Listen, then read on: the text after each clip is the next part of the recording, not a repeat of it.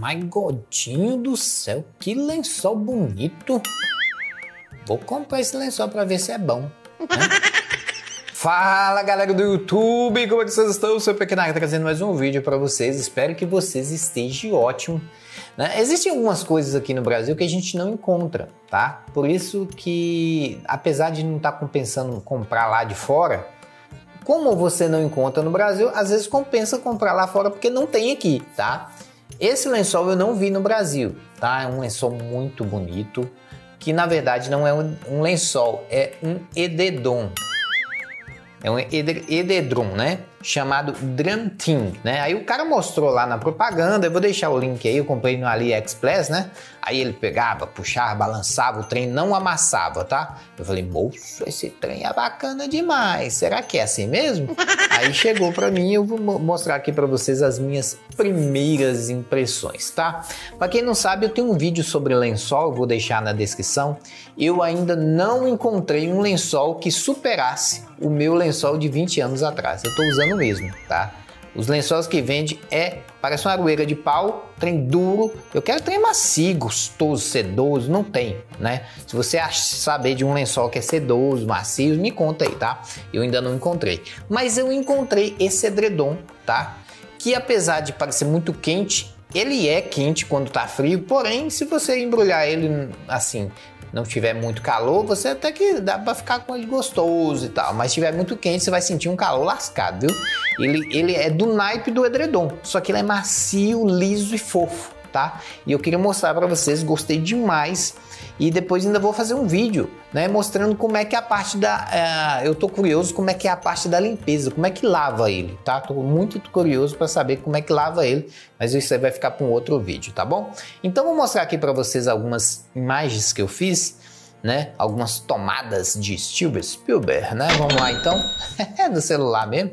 Tô abrindo aqui, pessoal, para mostrar para vocês como ele é liso, né? Bem gostoso, sedoso, né? Muito legal de pegar e ele tem uma textura muito bacana, como você pode ver, né? Uma, é bem macio, parece que tem uma espuma muito bem feita aqui dentro e ele é muito macio, tá? Ele fica muito legal, ele é, apesar de ser quente, ele é refrescante, né? Então ele não é aquele edredom que te sufoca, pesado, não, ele é macio, leve, gostoso, sedoso, maravilhoso, tá? É melhor do que edredom, na minha opinião. Eu achei melhor que edredom, tô, tô usando e rapaz é muito fofo, dá para você deitar por cima dele, dá para você deitar, né? E pôr ele por cima de você. Então é demais. Eu gostei muito, tá? Não conhecia essa marca, mas assim, não tô ganhando nada na marca inclusive, né? Mas achei muito muito legal esse lençol. Ele ganhou pontos comigo, né? Esse edredom, eu comprei ele por 159 reais, tá? Que é um preço básico aí para edredom, nas cidades você encontra desse preço.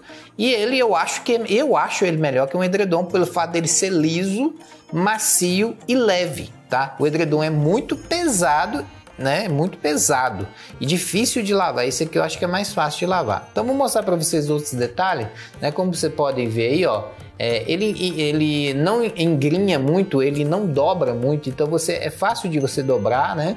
Fácil de você forrar, né? Então ele fica muito bem na cama, inclusive você pode pôr por cima, só que não é igual a, a filmagem lá, né? A, os caras filmou lá e pegou um, um, um novinho, né? Claro, né? Para fazer o marketing e tal. Ele veio transportado, aí deixou umas dobras, mas com o tempo essas dobras somem também, então fica bem legal. Como eu estou mostrando aqui para vocês, a marca é Drum Twing, né?